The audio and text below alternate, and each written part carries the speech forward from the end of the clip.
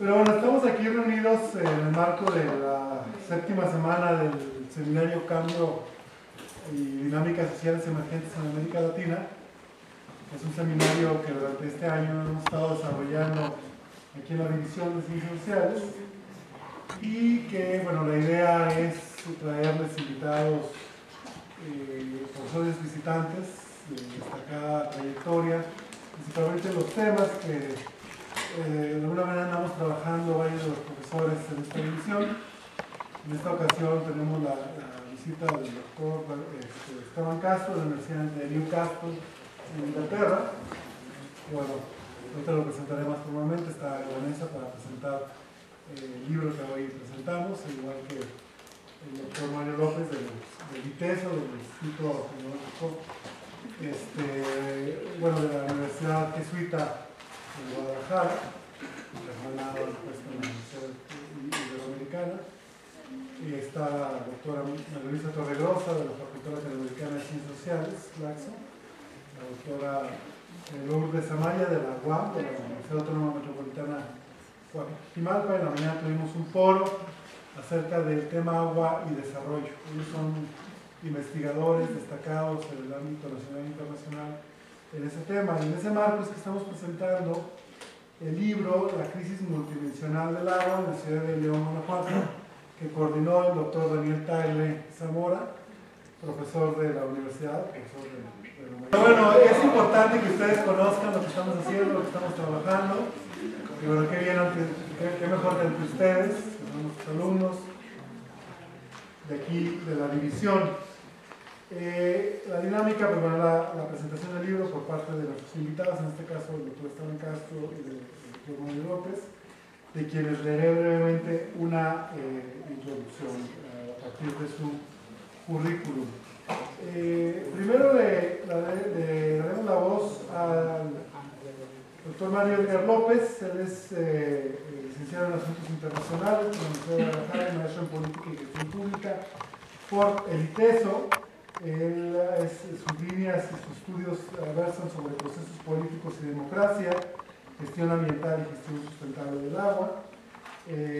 trabaja en temas de geopolítica, del Medio Oriente, del Medio Ambiente, perdón, yo soy especialista de, la zona del mundo, eh, de integración regional, actualmente es eh, primer programa de geopolítica y del área de investigación del IPESO. Entonces, le daré la voz primero a Mario. Muchas gracias, muchas gracias eh, jóvenes. Gracias Alex otra vez, a Daniel. Bueno, entre todo una felicitación a Daniel por el esfuerzo de este libro, que ha sido para mí un gusto leer. Lo vamos a presentar ahora en Guadalajara el jueves en la Casa Iteso Clavijero. Y pues platicando con Alex y con Daniel, yo quisiera hacerles un pequeño contexto en el que se va a suscribir la presentación que vamos a tener de este libro y el doctor Esteban Castro entiendo abordará más de, más de lleno los textos, ¿no? Pero sí quiero hacerles un contexto porque el ritmo, digamos, que se está viviendo en Jalisco respecto a la construcción de la presa del Zapotillo, que es uno de los contextos en que se integra este libro, lo noto muy distinto a lo que está sucediendo en León y quiero traerles algunas informaciones que nos ayuden como a entender qué es lo que está pasando. ¿no? Eh, la presa del Zapotillo, ustedes saben, está Ah, ubicada en la cuenca del río Verde, un río que está ubicado en Jalisco, quizá el único río relativamente limpio que hay en Jalisco, y digo relativamente limpio porque sin duda el río Verde también tiene una alta contaminación, pero nada comparado al río Lerma que tenemos allá, y este, a la, entrada del río Lerma, el lago Chapala y el Santiago, sobre todo el río Santiago, este, que es uno de los más contaminados de México, quizás de todo el mundo. ¿no? Eh, esta presa está en territorio jalisciense y ha ido causando cada vez más una movilización social y una movilización también académica crítica de lo que va a significar para nosotros en Jalisco la construcción de esta presa. Y veo que en León apenas se repercute el asunto, pero yo les traigo noticias de por allá y este, también, como veo muy felices a Daniel y a Alex ahora que van a Guadalajara, este, les comento que hemos convocado a muchos grupos eh, sociales y académicos de la, de la, región y de la ciudad que se encontraron muy interesados en la presentación de este libro porque en la historia que hemos tenido de resistencias en torno a la construcción de la presa del Zapotillo, es la primera vez que académicos de la Universidad de Guanajuato van a presentar algo así. ¿no? Hemos tenido algunas manifestaciones de, nuestros amigos, de Alex, de Daniel, pero es la primera vez que se va a presentar una, una visión crítica desde la ciudad de León, y eso nos parece muy importante en el proceso. Okay, ¿Dónde se inscribe el proceso de, digamos, de tensión social, de conflictividad que se está dando en Jalisco? El primer antecedente son ocho años de resistencia que han tenido en la población de Temacapulín en los Altos de Jalisco. ¿Cuántos saben de Temacapulín? ¿Qué es? Bueno, Temacapulín es uno de los pueblos que va a ser anegado por la construcción de la presa de Zapotillo, junto con otros dos poblados más eh, que se llama Casico y Palmarejo. Van a ser inundados por la presa. Son pueblos pequeños, pero que tienen una tradición muy importante histórica, digamos, en, Jalisco, con algunas este, iglesias eh, prácticamente antiguas, ¿no? y una vida comunitaria ligada a la migración estadounidense, de la migración jalisciense en los Estados Unidos.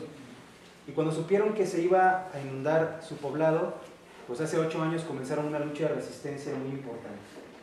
Esta lucha de resistencia ha incluido eh, en que en Temacapulín se hayan hecho eventos tan importantes como eventos del International Rivers y otros eventos como el Tribunal Permanente de los Pueblos, eh, que el año pasado hace una acusación, digamos, al Estado mexicano sobre esta política de la construcción de presas. Temacapulín también ha logrado, algunos de sus pobladores han metido este, recursos legales que han hecho que la Suprema Corte de Justicia atraiga el caso del Zapotillo a través de la resistencia de este poblado y ha frenado la presa, en este momento está frenada en una altura de 80 metros. el proyecto original eh, tiene una altura de 105 metros y está pensando en inundar un área muy grande de este territorio. Entonces esta lucha social ha sido una de las más enigmáticas. Por todos lados que voy yo a, congresos en diversas partes de América Latina y también este, en Europa, el caso del Temacapulín es conocido, ¿no? de la resistencia de este pequeño poblado de Temacapulín, que ha hecho una, una resistencia muy digna, pacífica, legal. Pero el año antepasado comenzaron a moverse también varios de los sectores de los Altos de Jalisco, ustedes tienen una relación muy importante con San Juan de los Lagos, ¿es correcto? ¿Sí? Una relación muy cercana con San Juan. Pues resulta que a través de algunos estudios académicos, entre otros, hechos por mi universidad y también por la Universidad de Guadalajara, eh, la, gente de los Altos empezó a enterarse, sobre todo los, los empresarios de los Altos, los ganaderos, los agricultores, los agricultores, comenzaron a enterarse de lo que podía ser el impacto social y ambiental de la presa de Zapotillo sobre el agua de los Altos de Jalisco. ¿no? En pocas palabras, digo, no quiero hacer este, mucha, mucho, quiero adelantar porque quiero comentarle otras cosas más. El asunto, lo que nosotros sacamos en nuestros estudios y los estudios de la Universidad de Guadalajara, es que la cuenca del Río Verde no tiene agua suficiente para repartir a León. No hay agua en la cuenca del Río Verde. Los datos del REPDA bajados a escalas muchos más manejables este, eh, de la cuenca, nos revelan que la cuenca está absolutamente estresada, depende del agua de lluvia, hay una sobreexplotación de los acuíferos y el proyecto de trasvase del agua a la ciudad de León, pues se va, a generar una disputa entre las, ciudad, las ciudades de los Altos de Jalisco, incluyendo también la ciudad de Guadalajara y la propia ciudad de León. Entonces esto ha originado un movimiento social en los altos bastante importante que ha ido creciendo. Bueno, el asunto de esta presión social que se ha dado en Jalisco, y, lo platicábamos con Alex, es muy interesante que no se haya desbordado, porque a mí me parece que el gobierno del Estado de Jalisco ha tratado de contener el, conflicto, ¿no? Eh, y más o menos me parece que lo ha logrado mantener en términos muy locales hasta la fecha. A diferencia del acueducto 4, de Monterrey, por ejemplo, o el asunto del acueducto, acueducto de independencia de los yaquis, que ustedes seguramente están enterados del asunto, que han tenido un nivel de repercusión nacional. El asunto del acueducto eh, Zapotillo-León todavía no llega a ese alcance, porque se han presentado una serie de factores sociales y de movimientos que me parece que lo mantienen todavía encerrado en una especie de burbuja en Jalisco, pero veo esta burbuja a punto de, de, de reventar la burbuja. ¿Cuáles han sido estos factores? Les digo, por eso es muy importante la presentación de este libro para nosotros en la ciudad de Guadalajara. Y ahorita voy a explicar un poco por qué. Bueno, este, el año pasado, debido a la presión que ejercimos las universidades y la gente de los Altos de Jalisco, el gobernador del estado de Jalisco formó algo que se llama el Observatorio Ciudadano para la Gestión del Agua para el estado de Jalisco, donde juntó a 20 instituciones. De esas 20 instituciones tenemos cuatro instituciones que son académicas, tenemos este, instituciones eh, empresariales que están alrededor de este Observatorio del Agua, ah, tenemos unas tres organizaciones sociales, incluyendo usuarios urbanos, y tenemos a la diócesis de San Juan de los Lagos dentro de, esta, dentro de este Observatorio Ciudadano, ¿no? que es el Observatorio Ciudadano para la Gestión del Agua, encabezado por una organización de los Altos de Jalisco que se llama Conredes, y este, por la Universidad de Guadalajara por un lado, en el comité, comité, ejecutivo, y por otro lado queda el ITESO, que es la Universidad Jesuita, este, también como parte del comité ejecutivo. Las primeras recomendaciones este, que hicimos son recomendaciones técnicas y científicas, van en este tenor y se las quiero leer rápidamente. El 22 de agosto del año pasado recomendamos denunciar los distintos mecanismos que ha utilizado tanto la CONAGUA como la Comisión Estatal del Agua, para negar al observatorio la entrega de información pública sobre la construcción de la presa de Zapotillo y sus impactos en la región de los Altos, violando diversas legislaciones nacionales e internacionales. Eh, digo, les comento esto porque lo que ha sucedido es que eh, la Conagua se ha negado a darnos información mm, sobre la construcción de la presa de Zapotillo, precisamente porque hay una serie de intereses eh, pues muy importantes. Detrás de la presa de Zapotillo hay empresas multinacionales, particularmente la empresa española Abengoa, pero hay otras empresas donde participan este, pues grandes eh, magnates eh, mundiales, ¿no? como George Soros, el propio Carlos Slim, gente están detrás de esto. Ah, Bill Gates también tiene un par de acciones ahí en la construcción de la presa de Zapotillo. Y como sucede en, en la construcción de grandes obras hidráulicas, un proyecto que se anunció que valdría unos 3 mil millones de pesos, ahora va por los 12 mil millones de pesos. Es un gran negocio. Pero le pusieron esta cuña, que es el Observatorio Ciudadano, y el observatorio además ha solicitado que el gobierno del Estado realice un ordenamiento hídrico de la cuenca del río Verde a una escala a unos 50 mil, conforme a una metodología que pide la Semarnat, que nos daría realmente el balance hídrico de la región. Nuestros estudios previos llegan a una conclusión muy clara, no hay agua para repartir. Y eso los va a llegar a afectar a ustedes y a nosotros, o sea, tenemos que entrar en un diálogo grande, importante, sobre qué va a pasar con la presa del Zapotillo. Hemos solicitado también que se realice, una auditoría técnica a la manifestación de impacto ambiental del proyecto de la presa porque la manifestación del impacto ambiental está mal hecha. Y como también empezamos a recibir presiones como parte del observatorio, pues pedimos en estas observaciones primeras que se nos garantice el libre tránsito y la protección de los miembros del observatorio y una de las observaciones es que en base a los estudios de cambio climático hechos por la UDG y estudios de impacto socioambiental hechos por el ITESO, la Universidad Jesuita, se, se, pronostica una escasez de agua en la región de los Altos, lo cual cambia radicalmente el escenario para la construcción de la presa y recomendamos que no haya ningún trasvase. ¿no? El 8 de octubre nos movimos también y estuvimos analizando la parte social de la construcción de la presa Zapotillo y sacamos tres conclusiones que se las comparto. Primero, vemos que es evidente que existen violaciones comprobadas a los derechos humanos contra los pobladores afectados directos por las obras de la construcción. Esto no solo lo decimos nosotros en el observatorio, sino lo dice la Suprema Corte de Justicia, por eso atrae el caso la propia Comisión Estatal de Derechos Humanos hay un proceso violatorio de los derechos humanos sistemático en todo el proceso, que lo estamos documentando y lo estamos enviando incluso a la Suprema Corte, porque hemos ligado la actividad del observatorio a la Suprema Corte y estamos informando a la Suprema Corte dándole todos estos insumos. La segunda, y esto les interesa mucho, yo creo, hay un incuestionable clamor social en los altos de Jalisco debido a la construcción de la obra que requiere una urgente atención de parte del gobierno de Jalisco. Hace 22 días hubo una manifestación de 500 personas por las calles de San Juan eh, reclamando que no haya trasvase hacia la ciudad de León. Entonces hay unas manifestaciones que son inusitadas porque el tejido social de los Altos de Jalisco no está acostumbrado a la manifestación. Son la, única, digamos, guerra histórica en la que han participado, no, no, no han participado en, los procesos como la guerra de independencia, esa región, tampoco en la revolución, pero sí tienen su guerra cristera, y ustedes la conocen, ¿no?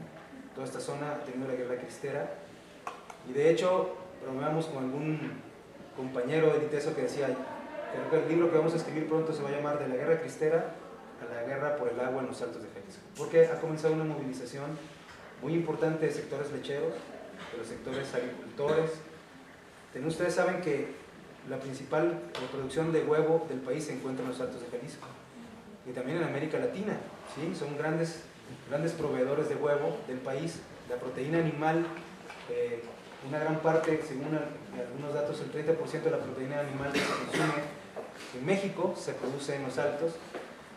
Y una cosa muy también clave es que la, la iglesia de San Juan de los Lagos ha hecho una manifestación, una carta pública al gobernador del estado de Jalisco cuestionándole su protección a la soberanía de los jaliscienses, diciendo, bueno, ¿dónde está la lógica de soberanía? O sea, si la Conagua puede hacer todo lo que quiera aquí, entonces ¿por qué existen acuerdos previos y por qué el gobierno de Jalisco no se mete en esos acuerdos previos ¿no? este, para frenar esta situación? Estamos hablando de que es una iglesia, una de las más importantes de América Latina, ustedes saben que la diócesis de San Juan fue visitada por el Papa Juan Pablo II, y es una de las diócesis que ofrece más sacerdotes en México, ¿no? y se está manifestando no solamente, este, digamos, a través de los, de los jerarcas de la iglesia, sino a través de todo el grupo de sacerdotes de la región. Entonces lo que tenemos es un clamor social que va avanzando en los altos de Jalisco, sumado a la violatoria de derechos humanos, sumado al asunto de, este, mm, de la intervención de la Suprema Corte de Justicia. De tal manera que de las recomendaciones sociales que nosotros hicimos, recomendamos la atención integral inmediata con la mayor prioridad de parte del Gobierno del Estado de Jalisco, comprendo el respeto de los derechos humanos, la atención de estos conflictos, en, un marco de protocolos internacionales, nacionales e internacionales para la cultura de paz. ¿no? Se recomienda elevar el estándar de gestión de la región, de la resolución del conflicto, este, se recomienda que se reconozca que no se han seguido los protocolos internacionales sobre el asunto de desplazamientos y la construcción y, la, y sobre todo sobre la consulta pública que se debió haber hecho a los habitantes de los Altos de Jalisco. ¿no? Y bueno, este, en respuesta a esto, hay dos actores que no he mencionado, pero que han estado como muy enojados por lo que ha venido sucediendo.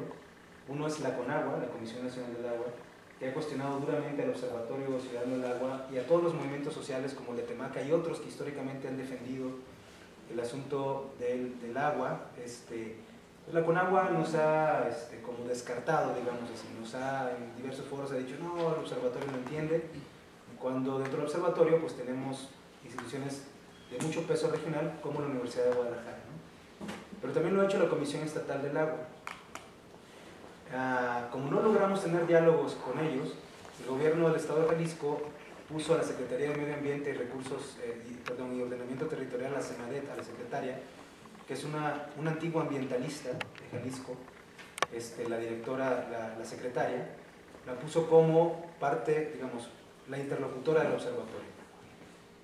En ese contexto este, de interlocución que subió el nivel y que nos permitió dialogar un poco más, eh, yo creo que el gobierno ha ido como entendiendo un poco que este, este, este, este problema los va a rebasar pronto y que no pueden hacerle caso a la Comisión Nacional del Agua ni a la Comisión Estatal del Agua como le han venido haciendo.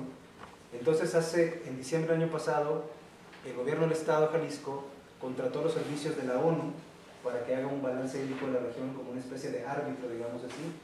Es una, pues una oficina que se llama la UNOPS, una oficina de atención a servicios, para que haga el balance hídrico. Entonces el gobernador ha aclarado que si la ONU este, determina que no hay agua para repartir, entonces este, va a frenar, o sea, de hecho ahorita ha frenado toda la construcción del acueducto en el territorio jalisciense, en lo que la Organización de Naciones Unidas da un punto de vista técnico, científico, con, con datos nuevos. Una cosa importante en este, en este sentido es que la ONU está proponiendo hacer datos alternativos a los que tiene la Comisión Nacional del Agua en los que ha basado la construcción de la presa y datos alternativos de la Comisión Estatal. Al final son los mismos.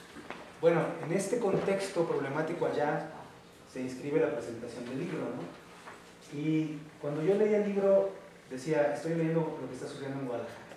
Es exactamente lo mismo. Y descubro un modelo, a mí me gusta utilizar una metáfora que a lo mejor ilustra de lo que estamos hablando y creo que el libro lo ilustra muy bien y la verdad felicito lo que han logrado este, los investigadores de la Universidad de Guanajuato y otros colaboradores. Porque lo que tenemos aquí es como si ustedes tuvieran una casa y la casa necesita agua, pero tienen un tinaco de cierto tamaño, una cisterna, un tinaco de cierto tamaño. Entonces dicen, ¿cómo le hacemos para que tenga esta casa el agua que se necesita?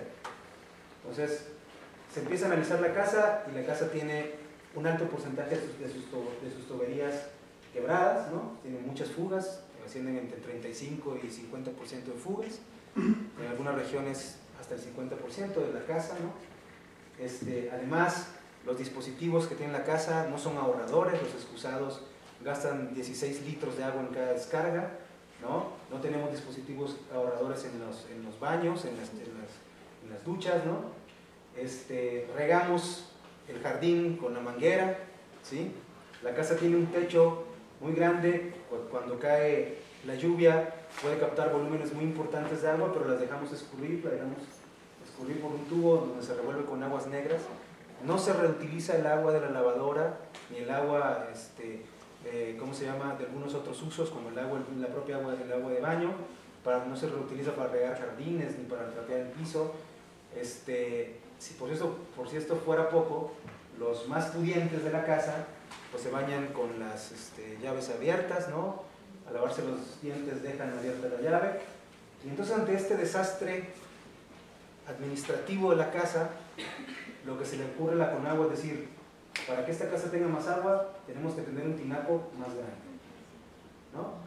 Entonces, aquí se ilustran dos paradigmas de visión, uno, uno que es integral, creo que por un lado estamos los que ponemos el énfasis en la buena administración de la casa y los que ponemos el énfasis, los que ponen el énfasis en construir tinacos.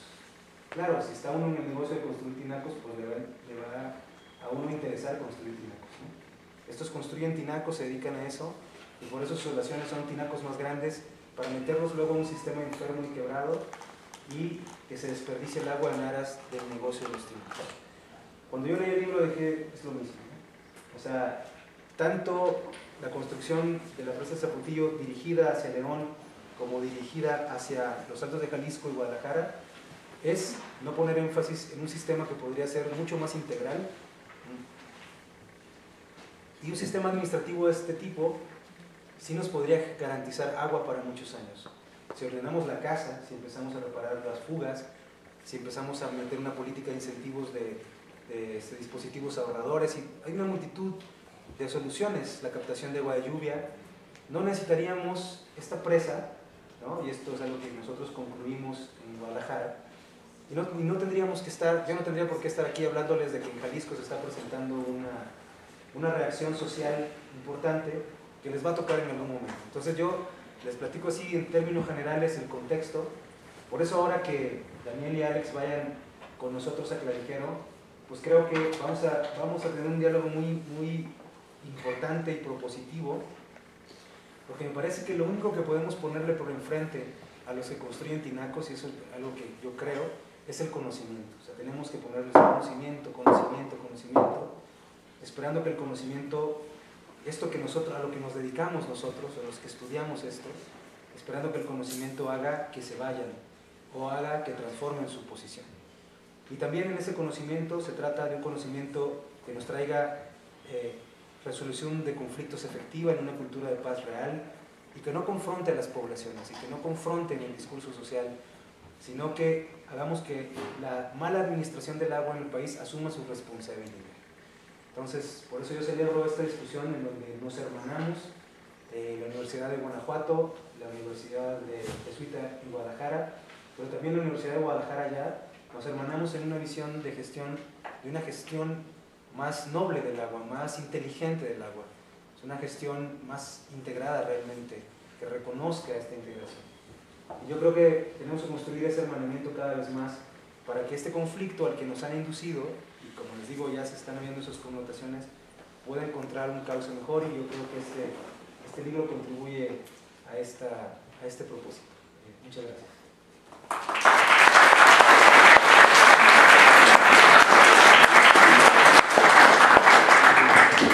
Bueno, eh, le voy a dar la voz ahora al doctor Juan Castro. Eh, él es catedrático de Sociología eh, de, la Universidad de Newcastle, Inglaterra. Tiene, un, bueno, tiene amplia experiencia, maneja una red internacional de investigación del agua, como parte de varios profesores. Y bueno, escuchamos sus palabras. Bueno, muchas gracias por la invitación. Eh, por una parte, por la primera visita a León, de la Universidad de Guanajuato. No había, había pasado cerquita, pero no había venido por aquí.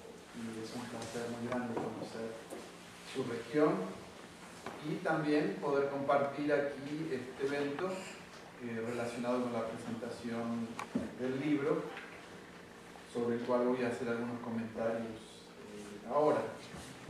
El libro entra muy en el marco de lo que yo vengo trabajando también, vengo trabajando el tema de la ecología política, es lo único que hago, pero creo que como lo refleja el libro, claramente la ecología política es uno de los marcos interdisciplinarios, eso es lo primero que hay que decir, la ecología política es realmente un campo interdisciplinario.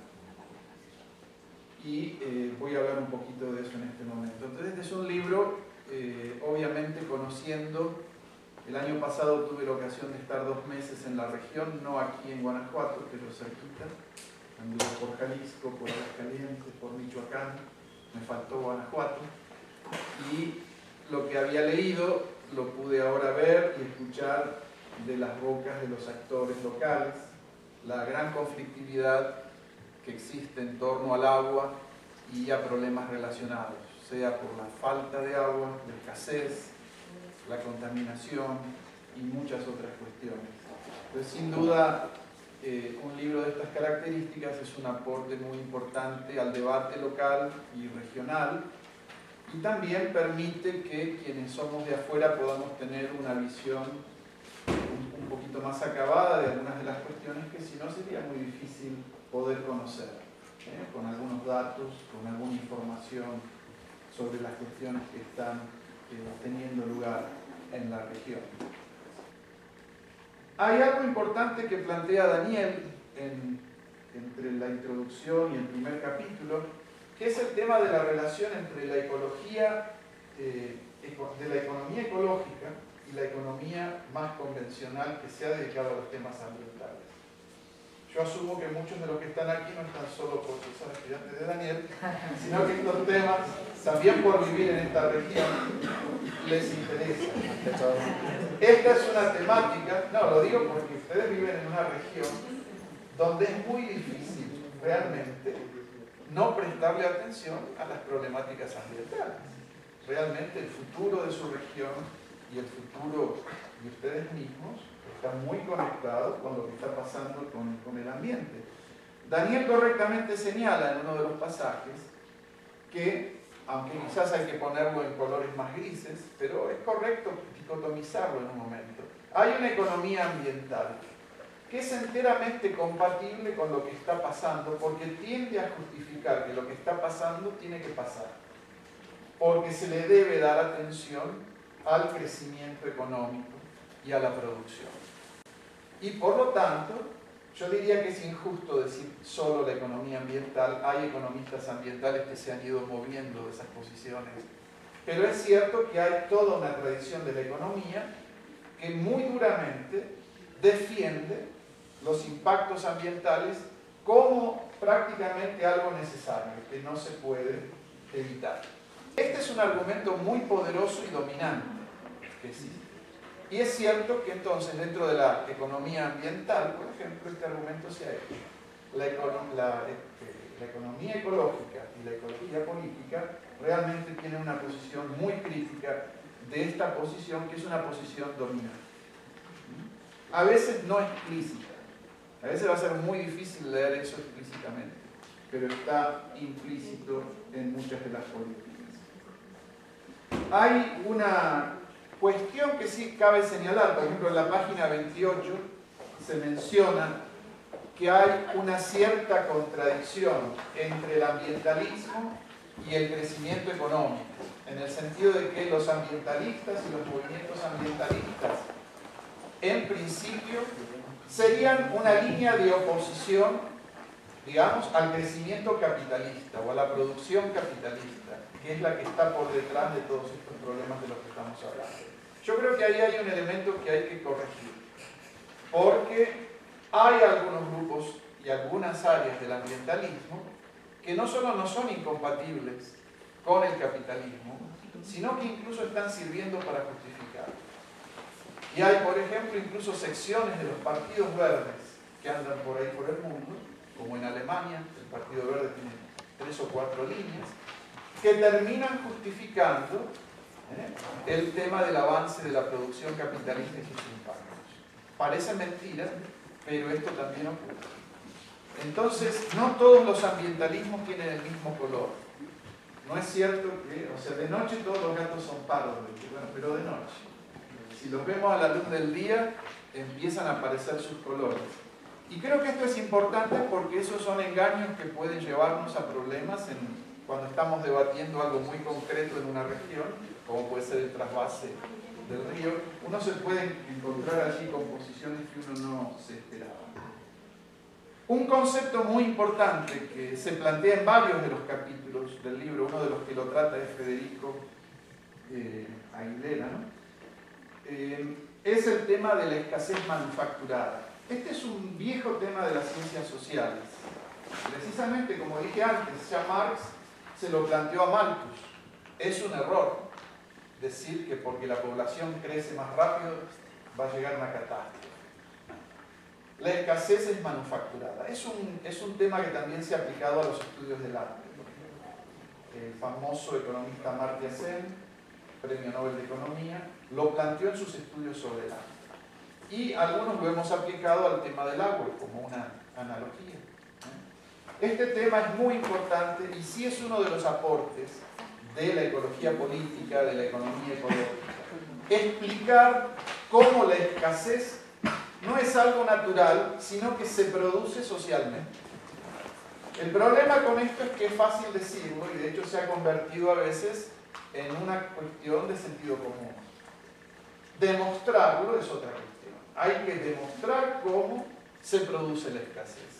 Y creo que en ese sentido, eh, y no solo la escasez, la crisis misma, que es la escasez es parte de la crisis y creo que en ese sentido el libro tiene eh, muy buenas contribuciones, eh, como apuntes, pero en algunos casos ya con datos, para poder entender cómo es que se genera una crisis ecológica. No viene de la nada, no surgió por el descuido de la gente que tira basura en el río. También eso es un factor, pero por supuesto que no es, no es ese el factor principal. Pero entonces la pregunta es, cuando decimos que hay una realidad social construida. Ese es otro de los conceptos que tenemos en la, ecología, política. La construcción social de realidades socionaturales. Pero hay que explicar cómo se construye. Y en ese sentido me parece que hay varios capítulos eh, que eh, lo plantean muy interesantemente. El capítulo de Aguilera Clint tiene una ventaja adicional. Aguilera Clint es de las Islas Canarias, español, canario. Él es un economista ecológico y además es un miembro de la Fundación Nueva Cultura del Agua que se menciona mucho en el libro.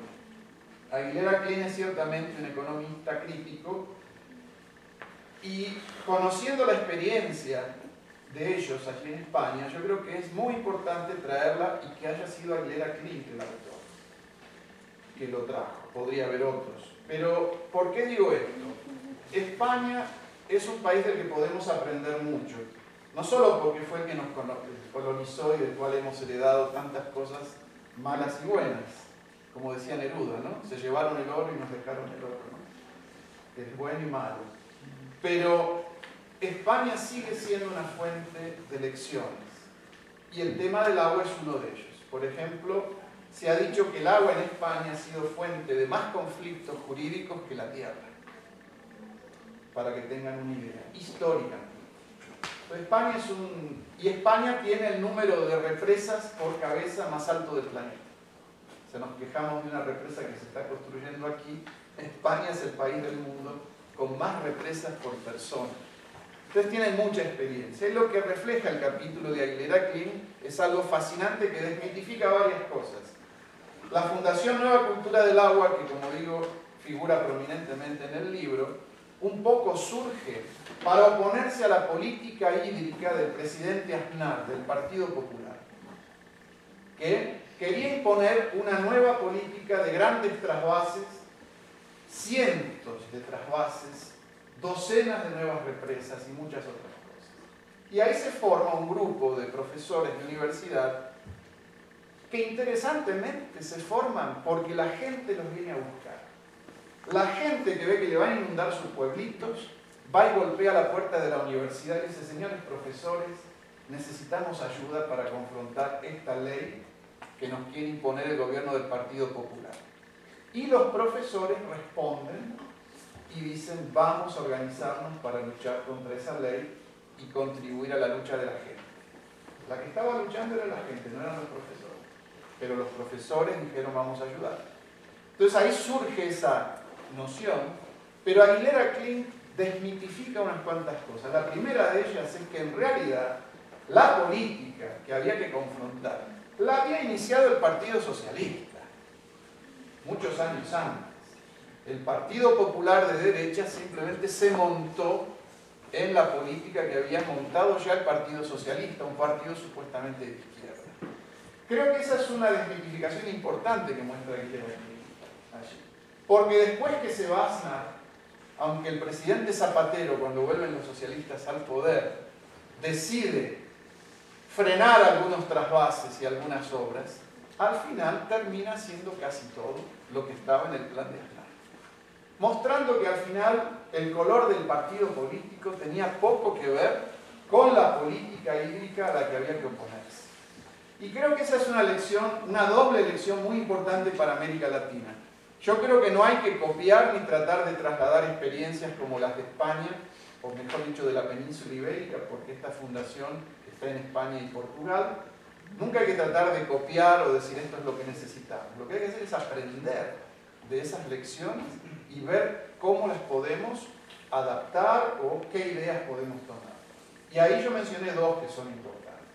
La primera es la desvinculación de estos procesos con respecto, por ejemplo, a las ideologías políticas. Y eso en América Latina hoy está muy claro. No podemos pensar que porque quizás venga un gobierno progresista a León, bueno, a Guanajuato, va a cambiar la política. O que venga a Jalisco. No es necesariamente así.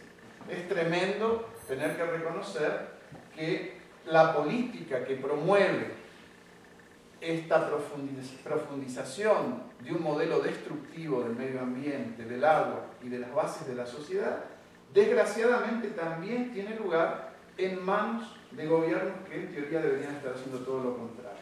Esto lo estamos viendo en toda América Latina y se ha visto también en México. Esa es una lección muy importante que creo que el capítulo de Aguilar nos, nos trae y creo que vale la pena que ustedes lo lean por esa razón. También por el tema de cómo se manufactura la crisis, porque esa es otra lección que él trae en ese capítulo.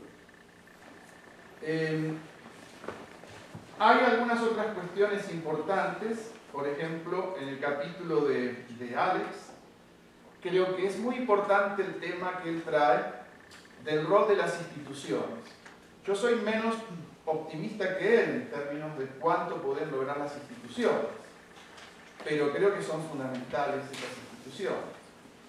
Creo que hay una tendencia en el debate que tenemos en relación a la crisis del agua en América Latina en general, y creo que la región México y la región no están ausentes, y que se empieza como a hacer una polarización eh, entre aquellos que defienden un rol fuerte del Estado, por supuesto estoy descartando aquí el problema de la privatización, estoy pensando a nivel de instituciones, y aquellos que promueven prácticamente lo que llamo un anarquismo híbrido. Debería ser una organización a nivel de las poblaciones o de las comunidades. Yo creo que ahí es donde el rol de las instituciones es fundamental. No podemos prescindir. Cuando hablo de instituciones no me limito a las leyes. Yo también soy muy escéptico con respecto a, lo que las leyes pueden lograr. Las leyes son importantes y deben estar allí, pero no creo que una ley va a transformar una realidad. Es fundamental que esté una buena ley que pueda defender los derechos de la gente, por ejemplo. Pero sí las instituciones son importantes. Creo que el capítulo de Alex hace hincapié en estas cuestiones que son eh, fundamentales. Él nos alerta, sin embargo, juntamente con el capítulo de Lozano, que creo que en ese sentido están muy eh, parecidos en el argumento, que por supuesto las instituciones son cooptadas por las élites. Obviamente ese es el problema. Y por lo tanto es donde las leyes, aunque sean buenas, terminan siendo aplicadas en beneficio de las élites. Eso no es novedad, es un problema de lo que llamamos con mayúscula la política. Eso es la política. Por supuesto, el estudio de la distribución del poder. Y el tema del agua es un ámbito fascinante para el estudio de esto. Creo que los capítulos de Alex y de Lozano, que les invito a leer, apuntan al estudio de estas cuestiones. Las instituciones son fundamentales. Una ley, instituciones regulatorias, ¿eh? Pero instituciones regulatorias de corte público. ¿eh? No tenemos tiempo para debatir esas cuestiones, pero el tema regulatorio también es, muy complejo. Creo que esos dos capítulos, que además el segundo de ellos trae de nuevo el tema del zapotillo, son muy importantes para este argumento. Luego hay otro capítulo que a mí me parece fundamental, que es el de Monroy Torres. Eh, ya se habló, Mario habló del tema. Una de las cuestiones más importantes que prácticamente a nivel internacional venimos sufriendo es el impacto de los problemas que tenemos con el agua y la salud humana. Y la salud ambiental más en general. Pero pongámonos antropocéntricos por un rato y hablemos de la salud humana. Es un tema fundamental. La Organización Mundial de la Salud estima que entre eh, algo así como dos tercios, un cuarto y dos tercios de los problemas de salud se conectan con la forma en que gestionamos el ambiente y en particular el agua. O es un tema fundamental, determinante. En México todos lo saben. No poder beber agua de la tornera es un símbolo de eso. Es peligroso. Sin embargo, es muy curioso que tenemos una gran debilidad dentro de la academia quizás alguno de los que esté escuchando aquí termine trabajando el tema, para profundizar y trabajar este tema involucrando los temas de salud, de ecología y de política. Hay mucha debilidad en este aspecto. Hay quienes se concentran en el tema de salud, entonces hacen sus estudios, ¿eh? el impacto del agua en la salud humana, las diarreas, la mortalidad infantil, pero la vinculación de este problema agua-salud y la cuestión que nos interesa en la ecología política es algo ausente. Creo que el capítulo que eh, escribió Rebeca Monroy Torres aporta en ese sentido algo muy importante y señala uno de los caminos que deberían eh, seguirse en nuestros estudios. Luego viene un capítulo a cargo de Pacheco Vega y Hernández Salva, que es muy interesante, es un abordaje muy diferente de la problemática, pero ahí hablan de lo que ellos llaman los conflictos intratables, tratando de aplicar una teoría que está en boga en ese sentido para el estudio de los conflictos. Es decir, hay conflictos que uno sabe que, bueno, mal o bien uno los podrá solucionar, se podrá negociar. Hoy aparece el presidente Fox ahí en Milenio diciendo, no se puede apagar la violencia con balos y, y más violencia, algo así, ¿no? Todos sabemos que hay conflictos que en principio se pueden solucionar. Pero hay una categoría de conflictos que ha llegado a ser denominada como intratables. Imagínense tener que aceptar que hay ciertos conflictos humanos que no tienen solución en principio, o que parecen no tenerla. Bueno, el caso del agua, desgraciadamente, es una de las áreas que nos presenta ese tipo de conflictos. Y curiosamente ellos también toman la presa del zapotillo como un ejemplo de lo que puede ser un conflicto intratable. Bueno, Lo que ellos hacen, sin embargo, es algo interesante que los toca a ustedes, porque lo que analizan es cuál es la percepción pública, allá en Jalisco y acá en Guanajuato, con respecto al proyecto del Zapotillo.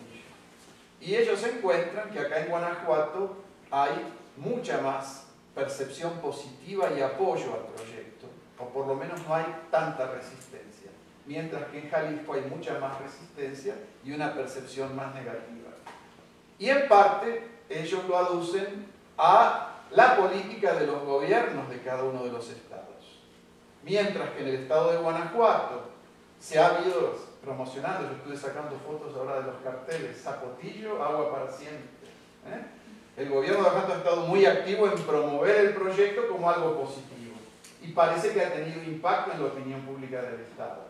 En cambio, en Jalisco, por, muchas razones, no porque son más buenos, pero el gobierno estatal ha tenido una visión más crítica con respecto al proyecto. Y eso se ha reflejado, según los autores, en una opinión pública también menos favorable, más crítica del proyecto. Bueno, esos estudios, que son estudios basados en la prensa, etcétera, deben ser tomados, como decimos allá en Inglaterra, con un poquito de sal. Este, hay que tomarlos con cuidado porque hay que hacer estudios más profundos, pero son un buen llamado de atención a cómo se puede manipular la, opinión pública. Quizás mucha de la gente que está opinando que el proyecto será bueno para Guanajuato, si se le pregunta, no sabe mucho de ese proyecto y de su impacto. Y sin embargo, está promoviendo una opinión pública favorable a una política de Estado, que puede tener grandes consecuencias. Creo que en ese sentido el capítulo eh, de ellos es muy interesante. Y finalmente el libro lo cierra David Barkin, que hace un análisis más político, más genérico del tema.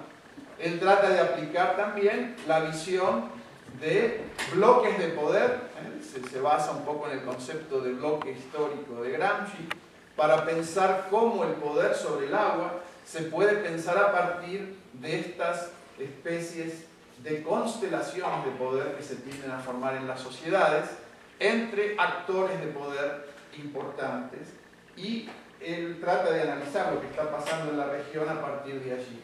Él también vuelve a la experiencia de la nueva cultura del agua eh, para señalar algo que sí yo creo que es importante.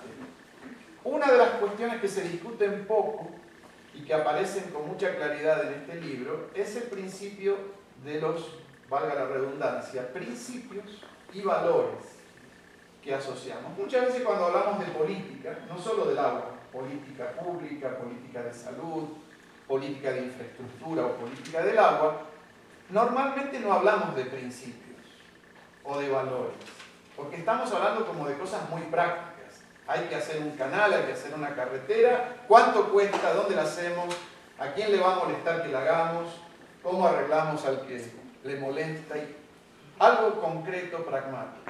Y nos olvidamos de los principios. Eso lo, rescata Barkin ahí, y ese sí es un debate interesante de la nueva cultura del agua, donde aparece el problema de los principios. ¿Cómo manejamos el agua? tenemos tanta agua, ¿cuáles son los principios que vamos a tener como sociedad para manejar esa agua que tenemos? Se rescatan temas que incluso estaban aquí en la colonia. Por ejemplo, no toda el agua es igual. Hay un agua que hay que destinar para garantizar la reproducción de la vida. Y esa agua no puede estar nunca en manos del mercado. Esa agua se la llama agua vida. Es el agua que necesitamos todos los seres vivos para reproducirnos. Y por lo tanto no puede estar en el mercado. No es lo mismo que el agua del señor que quiere poner una cancha de golf ahí afuera, que es legítimo que tenga su cancha de golf. A algunos les gusta el golf, está bien. Pero esa agua que hace falta para tener una linda cancha de golf no puede ser gestionada, gobernada, con el mismo principio que el agua que los seres vivos necesitamos para nuestra reproducción. O el agua de la cerveza. Es legítimo que tomemos cerveza. Pero es otra cosa. El principio es. Y eso uno no lo ve. Barkin correctamente dice, uno no ve ningún debate de eso en México. Que no tengamos eso en un país como México llama la atención por muchas razones. A mí como extranjero, pero que ha estudiado en México y he vivido en México, me llama la atención por muchas razones. Primero porque obviamente México ha sido históricamente un país donde el agua en gran parte del territorio ha sido un problema. Está muy desigualmente distribuida, etc. Pero además México ha sido pionero en estos. México en América Latina es uno de los países que ha tenido las primeras instituciones, ahí con Alex, del agua. Las instituciones mexicanas del agua son pioneras en América Latina. Poco después de la revolución se crearon instituciones importantes del agua en este país. Eso a mí me permite ser más optimista que Daniel, que hoy expresó que era muy pesimista, porque digo, las condiciones en México están, y creo que la movilización de la gente contra políticas que son claramente negativas para el país, sobre todo para su, población, muestra que hay una efervescencia social importante y que hay ciertos principios que aunque no estén explícitos o la gente no los pueda mencionar, están, digamos, internalizados en ciertos grupos de la población, quizás en grupos muy amplios de la población. Eso a mí por lo menos me da eh, esperanza. Y yo creo entonces, para cerrar, que los debates que trae el libro que ha editado Daniel con sus colegas es una contribución muy, muy importante sobre todo porque sin este tipo de materiales es muy difícil poder generar la toma de conciencia, eh, hablábamos de los jóvenes hoy en la mañana en nuestra reunión, que es necesaria para que no les caigan eh, políticas o decisiones tomadas desde arriba y que ustedes, por ejemplo, no sepan cómo responder. Este tipo de trabajo precisamente es material para el pensamiento y que también los va a provocar quizás algunos a buscar más información de algunos temas y enterarse nada más ni de nada menos de cómo se está manejando el agua de ustedes, aquí en este estado y aquí en su país. Entonces quiero felicitar a los autores por el libro y creo que este, es un aporte muy importante a los debates de la ecología política con un impacto muy concreto a nivel regional y local.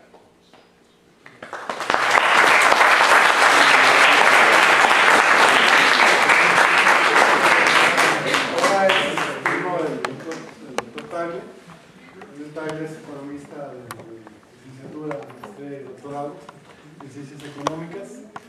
Quizá su abordaje que, bueno, realmente el papel de un autor en la presentación del libro es platicar lo que está detrás del libro y lo que no está escrito, quizá muchas veces las motivaciones que uno lo lleva a escribir este tipo de cosas.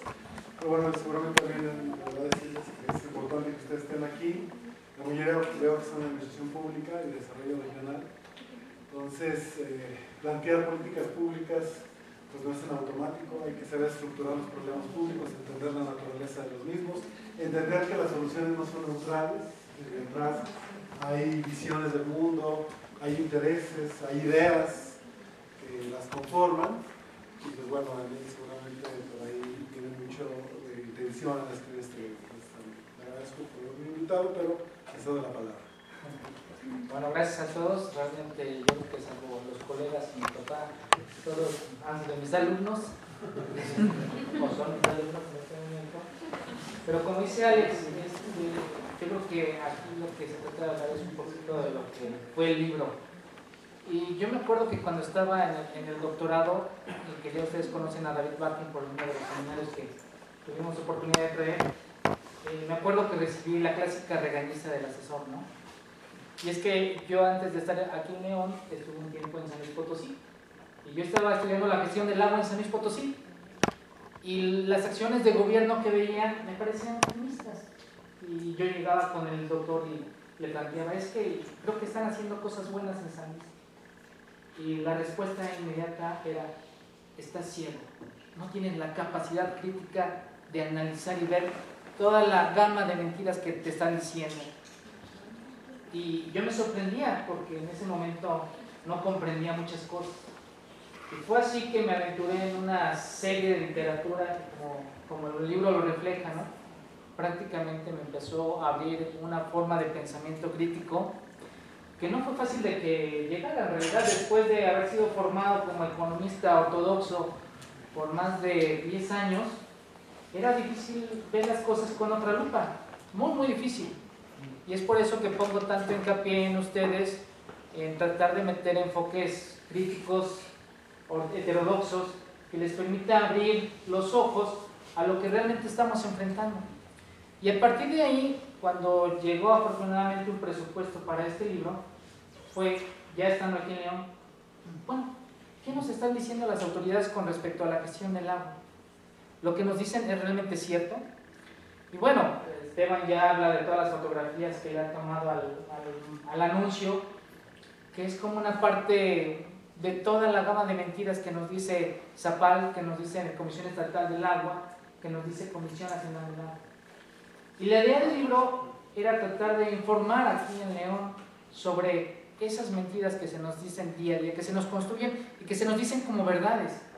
Y que lo peor de todo es que al estar desinformados, la sociedad y nosotros aceptamos dicha forma de gestión del agua, cuando en realidad lo que se esconde detrás de ellos es una gama de intereses que se distribuye una renta del agua entre un grupo muy pequeño. Pero todo el deterioro ambiental y el aspecto social se distribuye entre todos nosotros. Y ese era el interés, informar a la sociedad leonesa, porque algo que hice fue para el caso de León y de Guanajuato, revisar qué se había hecho. Y fue espantoso darme cuenta de que no hay nada. De que para el caso de León no hay nada en absoluto. Y eso me dio bastante, una pauta muy fuerte para decir, tenemos que hacer algo para el caso de León. El caso del agua es un caso muy específico. Pero entonces lo que, nosotros nos, fuimos encontrando, porque tuve que interactuar en un diálogo con, con todos los autores, prácticamente dedicados, también identificar con cuáles de ellos yo podía cooperar y el interés de cómo se iba a delinear el, libro. Tal vez ahora fue muy pretencioso al ponerle la crisis multidimensional porque realmente me faltaron muchas más dimensiones las que me hubiesen gustado abordar, pero el presupuesto era limitado.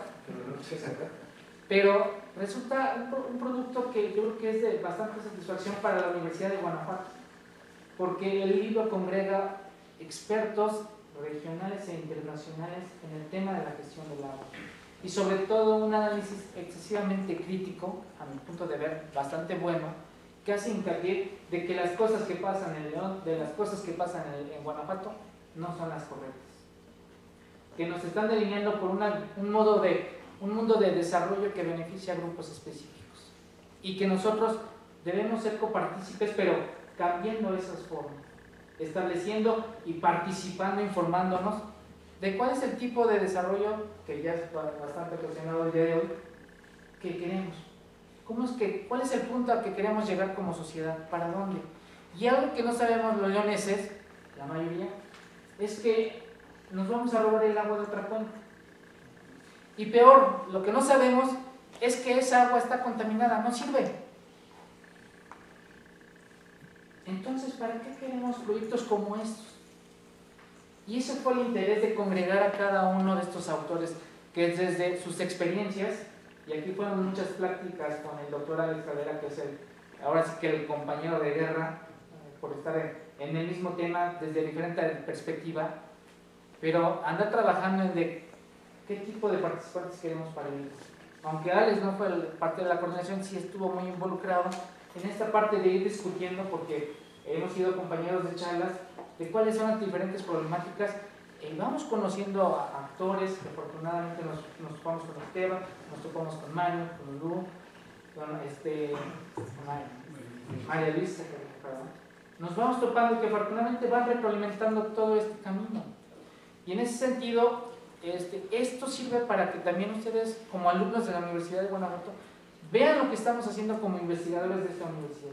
No solo somos aquel profesor que va al aula y trata de enseñarles o mal enseñarles, sino también hay un aspecto de que estamos haciendo un trabajo de investigación y que ese trabajo de investigación también tiene intereses detrás de sí. En mi caso muy específico es que todo lo que se genere por parte del cuerpo académico de transformaciones sociales sea un trabajo bastante crítico, pero un aspecto crítico que sirva de debate, de generar debate que no hay en la sociedad leonesa y de incorporarlo para determinar cuál es el rumbo que queremos de nuestros recursos naturales. ya con muchos he mencionado, con muchos de ustedes he mencionado las diversas crisis que ustedes van a enfrentar y que enfrentamos, de hecho. La del agua es una de las más fuertes.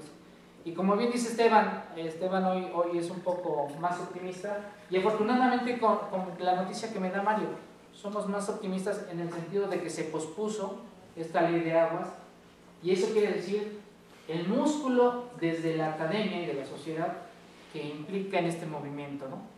Era un, un peligro para la sociedad que se aprobara una ley de aguas que la mercantilizaba y que realmente iba a implicar un proceso de conflicto social con diferentes actores, movimientos, grupos que se iban a poner a ello.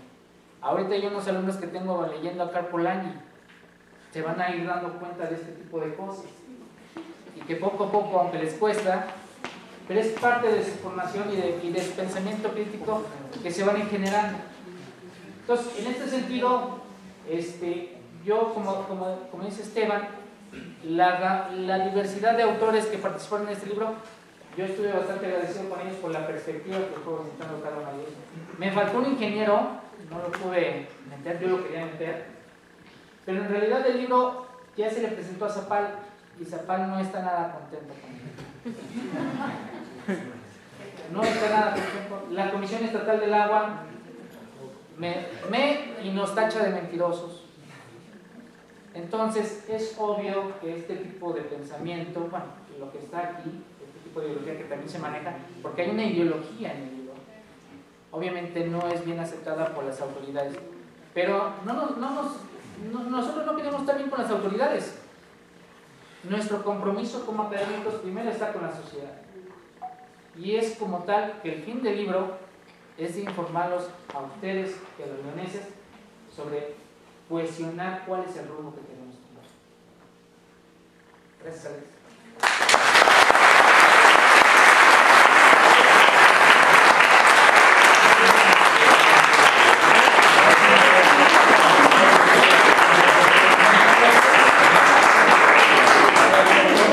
También el libro ya es convencional de la interacción, porque bueno, se olvida que se pregunta a partir de lo que dice. Pero quizá tengan dudas, quizá tengan alguna pregunta, algún comentario. ¿qué es? Unos comentarios que tengo. ¿El regaño? No saben por qué el regaño. No estuvieron a la mañana.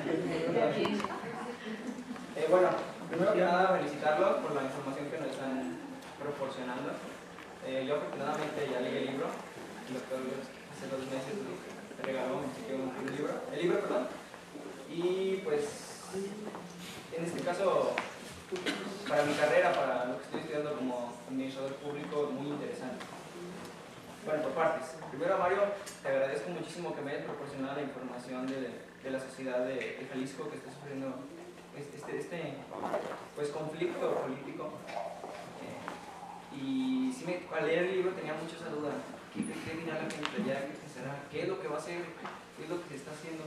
El doctor lo menciona muy brevemente en, el libro, pero sí te agradecería si puedes en un futuro traernos más información de lo que se está haciendo en, en aquel lugar, estaría mucho es excelente porque pues no quiero que en, un tiempo muy futuro también termine confrontando, confrontando perdón, a las sociedades, ¿no? que a los leoneses nos viene como no, que la gente que nos roba el agua y que quiere acaparar todo el recurso. Entonces, sí te agradecería que nos traigas más información, igual que transmitas un poco más de información con el doctor.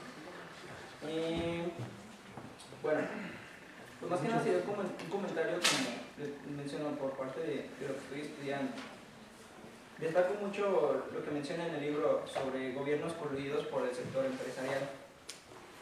Es el fomentar un capitalismo que por si fuera poco ya no es interno, es decir, ya no es un inversionista local, sino un extranjero que está viniendo a, a tratar de sacar provecho de un recurso natural, que supone que, es un recurso nacional, federal, de todos, todos los que conformamos el país, y fuera de un recurso nacional, un recurso pues que todo humano tiene que tener disposición de él, ¿no? Entonces, eh, es grave que, quieran actuar de, esa manera y que nosotros como ciudadanos simplemente estamos observando, o, ni, ni siquiera eso no estamos observando, sino que nos quedamos callados, o simplemente no nos interesa la cuestión política, y mucho menos política ecológica. Mm, Y bueno, para mis compañeros,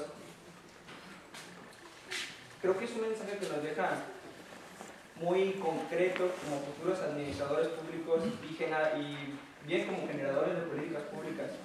Es decir, al llegar a, tener algún cargo público que obviamente tenemos que, que ejercer, bueno, si queremos ejercer nuestra profesión tenemos que hacerlo, ¿no? ¿Qué tanto la cosa fea que es el partido y la política nos va a influir, ¿no? En nuestra idea. ¿Qué tanto nos va a corromper? Es decir, no, no, no tacho que, que tenemos que estar en la cosa fea, es decir, en, en, los partidos, en la política. Sé que es un medio para llegar a, a lo que queremos ser, pero ¿qué tanto va a fragmentar nuestro ideal? ¿Nos va a corromper? ¿Y qué tanto vamos a estar siendo partícipes de esta mala política que se está generando, este mal gobierno que sigue viendo por su interés meramente privado, por el interés de unos pocos? Y el comentario es para nosotros como servidores públicos y pues más que nada felicitar a los líderes que, que nos exponen este tipo de problemas.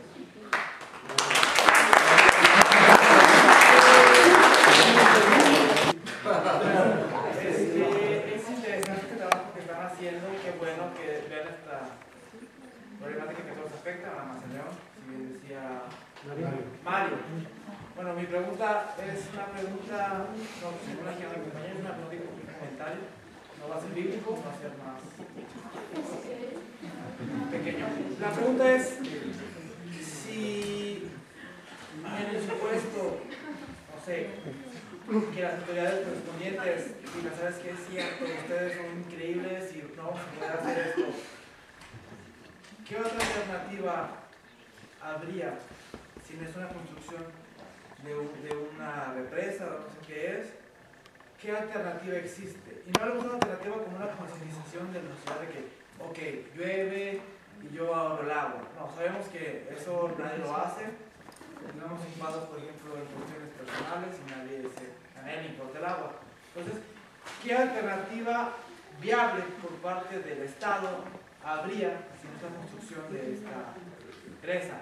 Eh, sí, yo tengo como dos. La primera es más, más corta, es sobre lo, la curva que mencionó el, el, profesor, que no sé bien cómo se llama, pero yo había pensado como en eso, no sé cómo se llama la curva.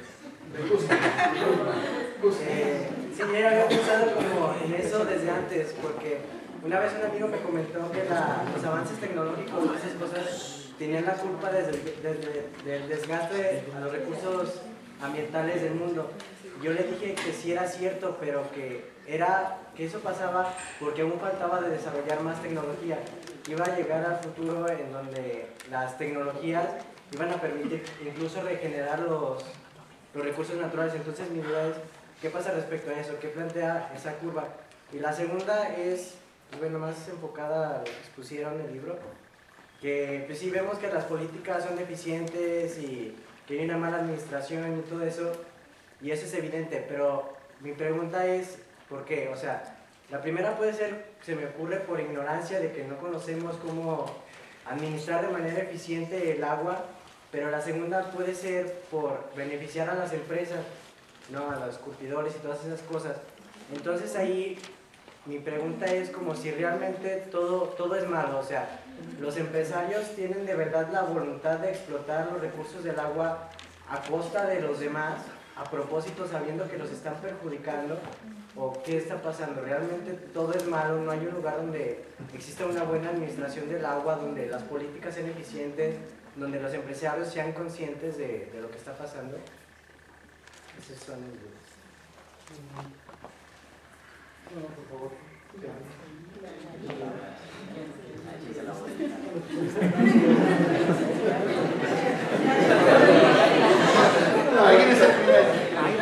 Bueno, rápidamente, creo que lo que. ¿Cómo es tu nombre?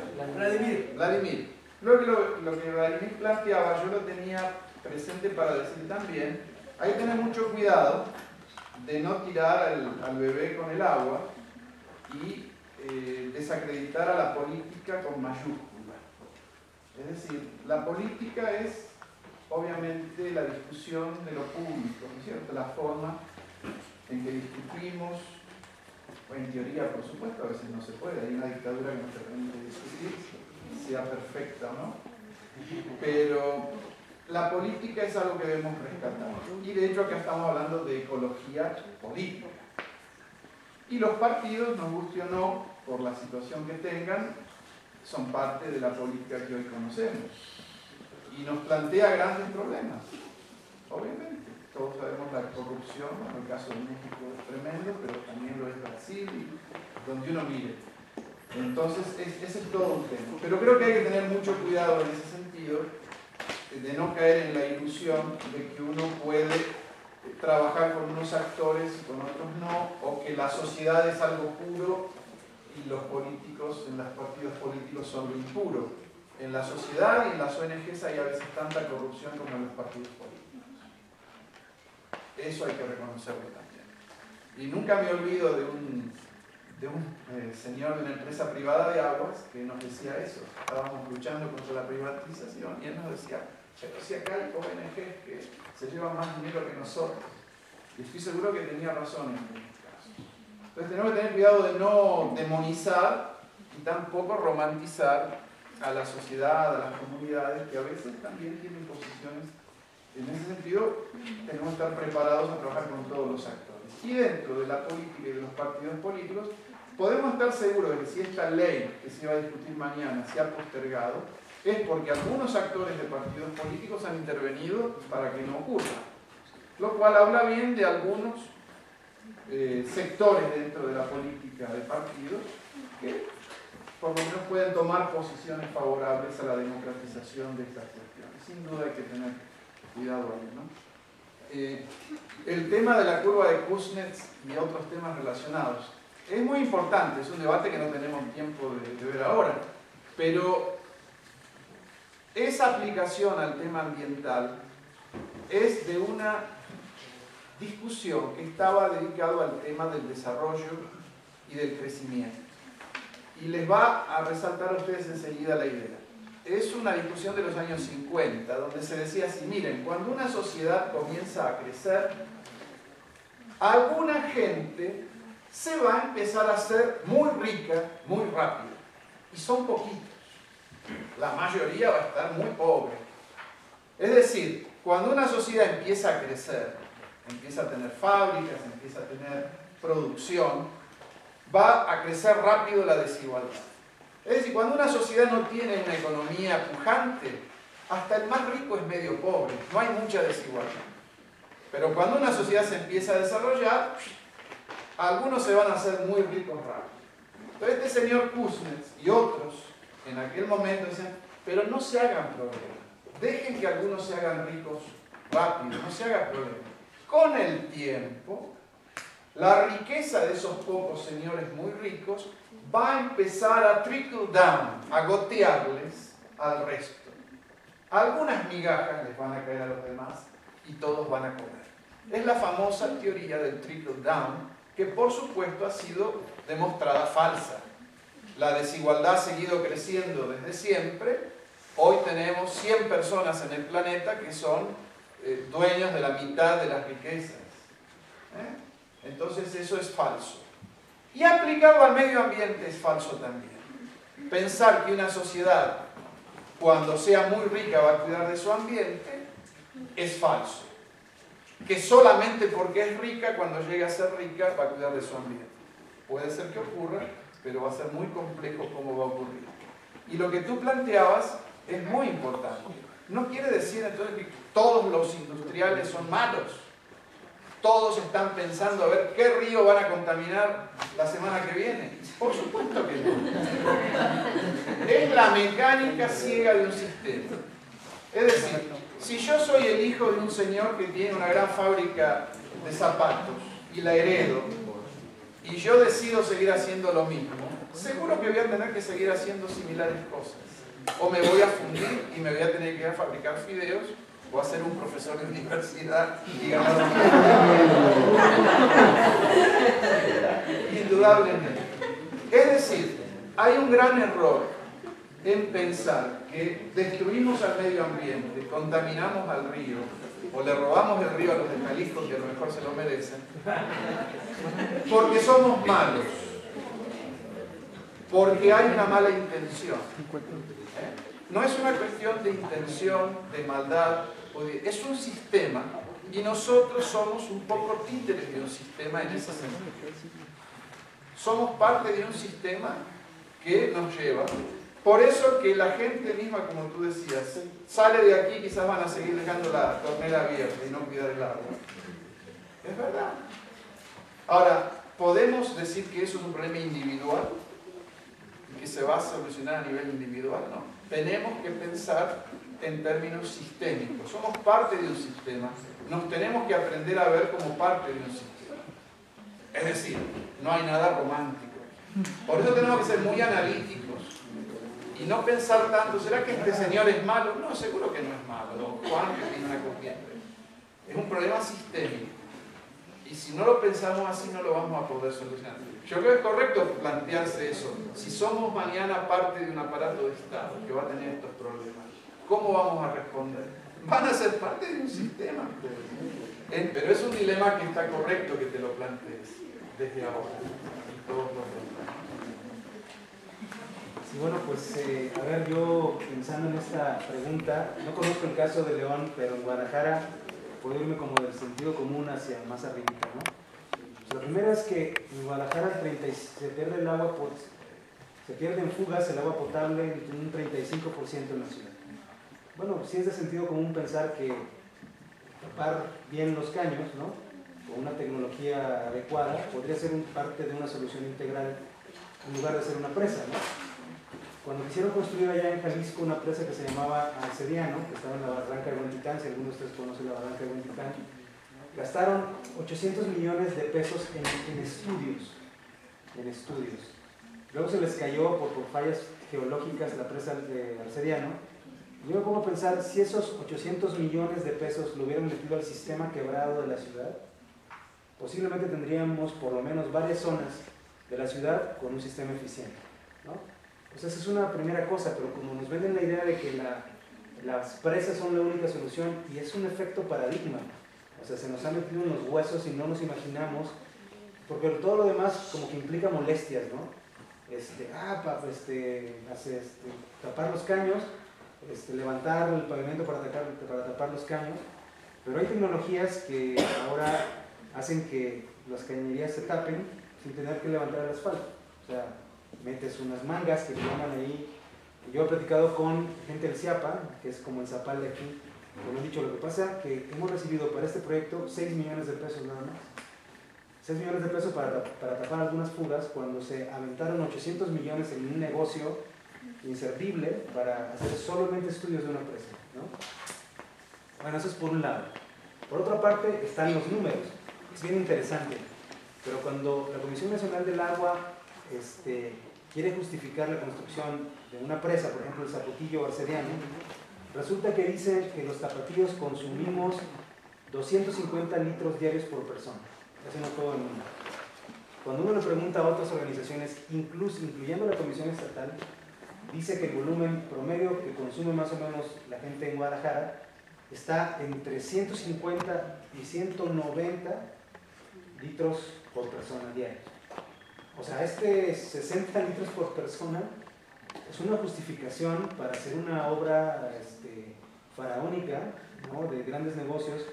Entonces la otra sería poner en orden los números con los que se toman decisiones, saber cuál es el volumen de consumo real. O sea, qué es lo que consumimos, ¿no? Porque si te dicen, hay un gran problema, los expertos se apropian de un lenguaje esotérico casi casi particular y nos venden una danza de cifras como quieren, ¿no? ¿Cuántos, este, ¿Cuántos metros cúbicos por segundo se necesitan para abastecer la sed de Guadalajara? No, pues 9 metros cúbicos por segundo, que no vamos a poder alcanzar de ningún lado. Y uno dice, ¿de dónde sacaron esto de nuevos metros cúbicos por segundo? ¿Por qué? ¿No? Se disfrazan muchos datos. La otra sería, bueno, pongamos en orden los datos y los volúmenes de los que estamos hablando. ¿Cuánta agua necesita realmente la ciudad? ¿no? Y si estamos dispuestos a que tenga agua una ciudad que va creciendo sin control y que va generando diversos problemas urbanos. Bueno, es otra, ¿no? Hace unos años que cuando yo comencé a trabajar el tema del agua como politólogo, hace unos 10 años, el que era director de la Comisión Estatal del Agua, yo lo escuché en vivo y de todo color dos cosas, ¿no? Uno en una conferencia sobre la presa, un arquitecto levanta la mano y dice, a mí me parece absurdo esto de la presa arcediano y no sé qué, pues hace una demostración técnica y el director, con una gran arrogancia, se le queda viendo y le dice, ¿usted es ingeniero hidráulico? Dice, no, yo soy arquitecto. Dice, ah, esto es un asunto de ingenieros hidráulicos. O sea, nadie más se puede meter. Y en una conferencia en mi propia universidad, en la sala de rectoría, cuando preguntábamos por la presa Arcediano, la posición de estos técnicos era, los, la gente de Guadalajara tiene derecho a tener agua, pero no tiene derecho a saber de dónde viene el agua. Es un asunto de los que sí sabemos. ¿no? Bueno, imagínate, todas estas cuestiones están metidas, ah, y lo digo porque en aquel, en aquel entonces, cuando hablábamos de captación de agua de lluvia, se reían, ¿no? El director, el director de la CEA eh, se reía y decía, no, es que el agua de lluvia es un mito, los pozos de absorción, no sé qué tanto. Por la presión social se han comenzado a hacer estudios ahora, que ahora la CEMADET, por ejemplo, donde está la secretaria conoció, va a ser el primer edificio demostrativo de captación de agua lluvia en un edificio público. Y, hay algunos académicos que están comprobando que el agua de lluvia puede ser una de las alternativas en un sistema de, de variadas alternativas. Lo que pasa es que no nos gusta sentir esto de las variadas alternativas, ¿no? Y si nos vamos avanzando, pues está, por ejemplo, Guadalajara, el subsuelo de Guadalajara, bueno, por eso se llama Jalisco, está formado de una piedra, es una piedra poma muy permeable, que se llama Jal, y los 60.000, las 60.000 hectáreas que tiene ahorita, más 66.000 hectáreas que tiene la ciudad, tiene una carpeta asfáltica que está tapando un subsuelo privilegiado para la absorción de agua de lluvia. Tenemos una gran represa abajo de nuestros pies, más gigante que la presa Zapotillo, más gigante y está abajo de nuestros pies y es gratis y tiene distribución gratis de agua. Y esta realidad se da incluso para la zona de los altos de Jalisco. No sé aquí cómo se dan las piedras pues, del subsuelo, pero decir, ¿no tendríamos que abrir algunos hoyitos para que se infiltre el agua y empezar a sanear nuestros, este, estos grandes reservorios en el subsuelo? Claro, a lo mejor puede ser más complejo, más lento, y como tenemos resoluciones rápidas, no, pues hagamos una presa. ¿no? O para el caso de Guadalajara tenemos el lago de Chapala. Es un lago donde cabe la ciudad de Guadalajara como tres veces la ciudad de Guadalajara. Es un lago gigante. ¿no? El más, más grande de México, el tercero más grande en América Latina. O sea, basta con que ustedes vayan a aviones más en el Google, no se ve Guadalajara, pero el lago sí se ve. ¿no? O sea, se ve ahí la manchita de Guadalajara el lago sí se ve perfectamente. O sea, la gestión de este lago como un lago vivo podría garantizar mucha del agua futura de Guadalajara. Y a lo mejor para otras regiones, ¿no?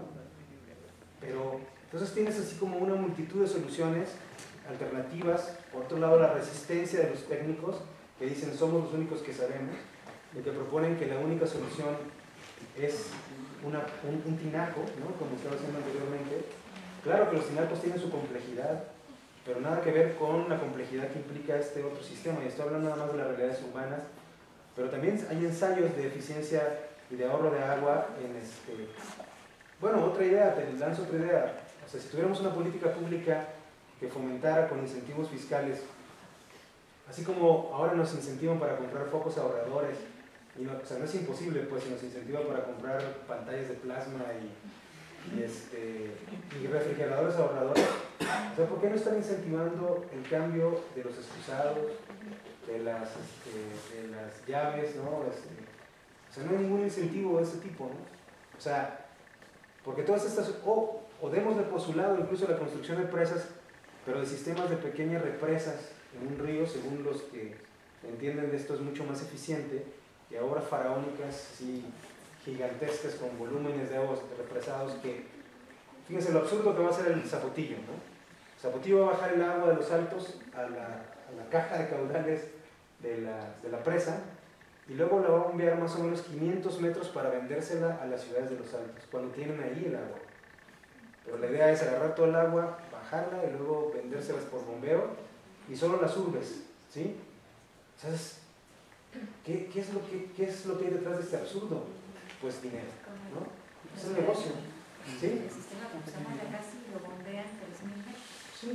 Y el, supernegocio, ¿no? No, y además, de esa, el equivalente en energía a la ciudad de Puebla. Es increíble. Y además el caudal de se pierde, bueno, no es el mismo, pero la misma, el mismo volumen se pierde en las colinas. Sí, es el absurdo, es el absurdo. Y este, entonces, pero yo creo que es un, un primer paso es quitarse de la mente la salida de las grandes presas, porque es lo que nos suena más lógico de repente, porque nos han vendido así, ¿no? El asunto. Entonces, ¿cómo desmontamos eso? Y una vez que desmontamos, hay una, una cantidad de alternativas interesantes que implican una gestión distinta del agua, quizás cierta incomodidad, ¿no? De repente, pero que a la larga son mucho más sustentables y este, ambientalmente amigables que lo que estamos haciendo ahora o lo que está haciendo la Comisión Nacional con las presas. Este, creo, que, creo que el peor error que podríamos hacer saliendo de aquí sería no hacer nada. Eh, creo que precisamente es la idea del libro, informar, ¿no? Inform- informar sobre una situación que, es crítica en realidad para nuestra región. Y lo que nos pudieran decir que este, Comisión Estatal y, Zapal tiene un optimismo increíble en Zapotillo, ¿no? ¿Qué pasaría en León si al día de hoy le dijeran que no va a la presa? Que finalmente ganara Jalisco, el agua de, de Jalisco no va para León. ¿Cómo enfrentaría eso Zapal? ¿Cómo lo enfrentaría? Y es interesante, hace no mucho estuve flojeando viendo una película de los Fockers, de la familia de, de mi novia, no sé cómo llama, algo así. Y me dio mucha risa porque este, decía, si- si es, si es amarillo, déjalo marinar, si es marrón, déjalo flotar. Y pues, cuando ibas al baño. Y entonces me preguntaba de- del impacto de las diversas ecotecnias, de todas las que ahorita estaba mencionando Mario, de todas las posibles ecotecnias que podrían implementarse para ahorrar el agua. ¿Cuántos de ustedes van en sus casas todavía tienen, ta- tienen tanques de 16 litros? Y que van y por una orina los descargan. No saben, lo peor que puedes hacer es no hacer nada. Entonces, imagínate, y eso multiplícalo por 1.8 baños que, hay en, este, por hogar que hay en León. Y multiplícalo por los cua- 345 mil hogares que hay en León. ¿Cuánta agua simplemente se va en uso? Nada más me estoy refiriendo a doméstico. Habrá que ver el industrial, que es el que más contamina, ¿no?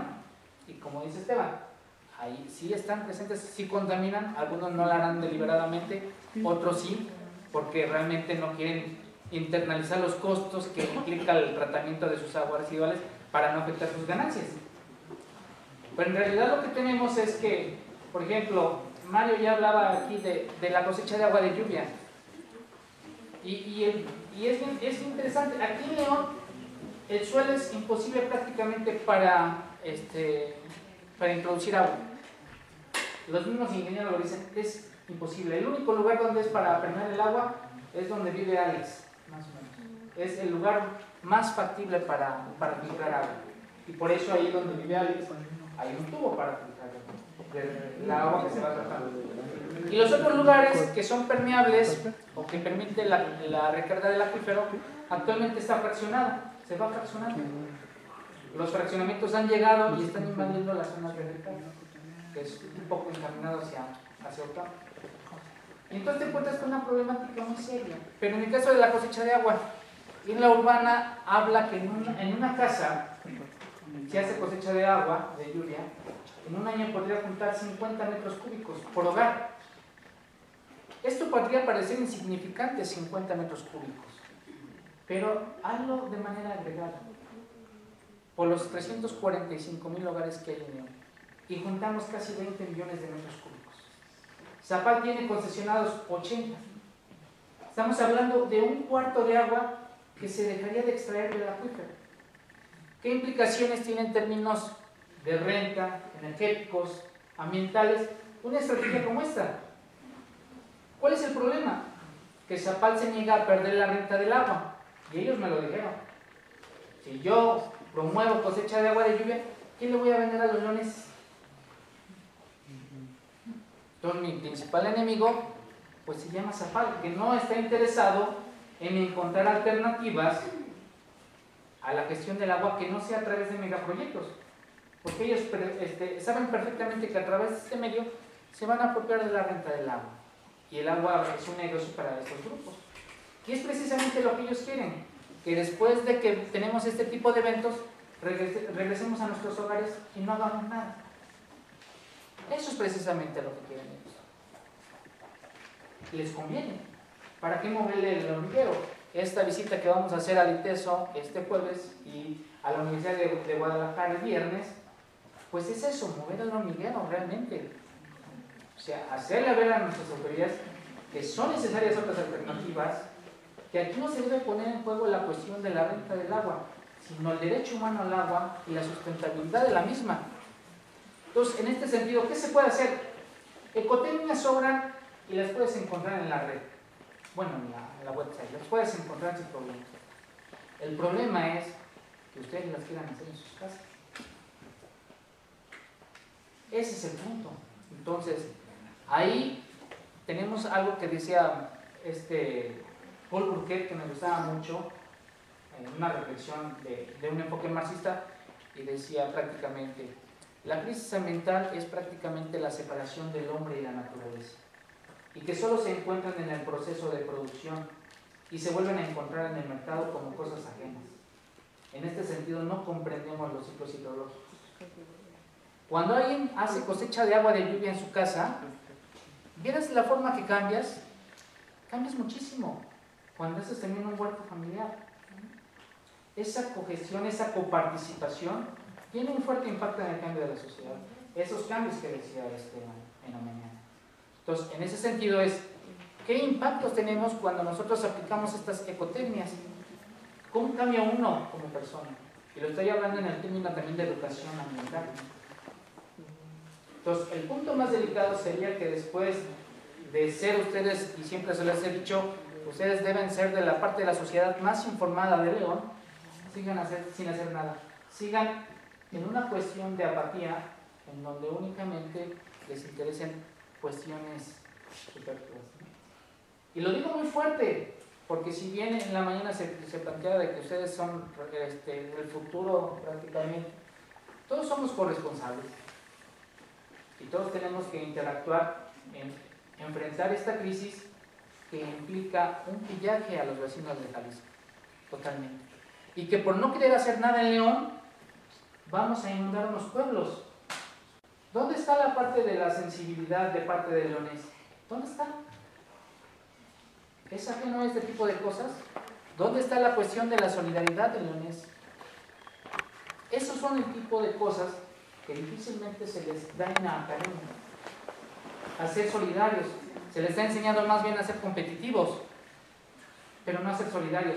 Y cuando se les dice ser solidarios, no tienen ni idea de cómo hacerlo. Entonces, si, Mario está aquí precisamente, si Stephen está aquí precisamente, es parte de concientizar este problema que estamos enfrentando. Y en este sentido, Mario está librando una, una batalla muy fuerte desde el lado de Jalisco.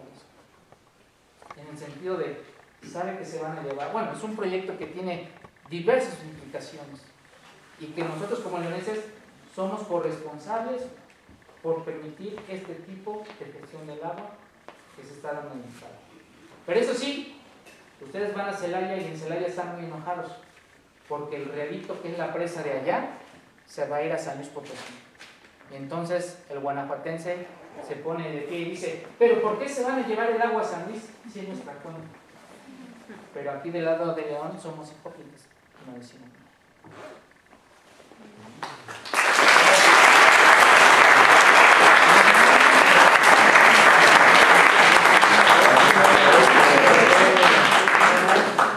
Eh, simplemente diré lo que alguna vez por ahí escuché que se es universitario eh, no para ser más que los demás, sino para servir a los demás.